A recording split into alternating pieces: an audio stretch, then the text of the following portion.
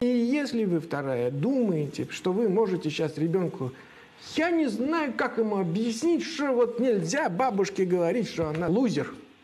В детском саду ему рассказали про лузер. Он пришел, бабушке сказал, что она лузер. Вот. Все сбленились, бегают по потолку, что за подонок растет в семье. А он просто на, интересное словосочетание. Интересно, ты говоришь, лузер, и все начинают бегать по потолку. Это же чудо. Magic, понимаешь? Говоришь еще жопа, они вообще просто все бегают просто сверхъестественным образом. Чудо. Бабуся, так сказать, сидела, так сказать, высокомерно на диване. А ты так, ух, что-то сказал, сам не понял, что, но звучало. И она давай вот это все, и давай все бегать. Вот, короче говоря, с языком надо понять.